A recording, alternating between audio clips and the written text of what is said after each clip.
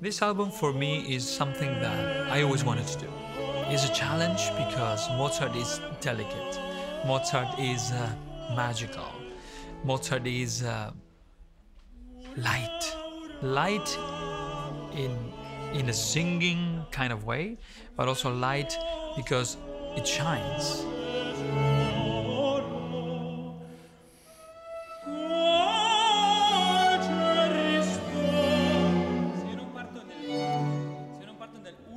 And Mozart is a composer that connects to people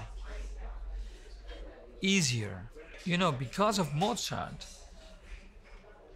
many people can get to classical music, can they can get close to classical, classical music because of this uh, universal quality of Mozart music and this uh, simplicity. This is very important. The simplicity of the music that you don't have to understand why you like it. You just like it. In this album, you have different arias, different types of arias. You have loving ones, you have angry ones, you have uh, very expressive ones, you have very virtuoso ones about show showing off the voice. So this kind of variety also makes it very relevant.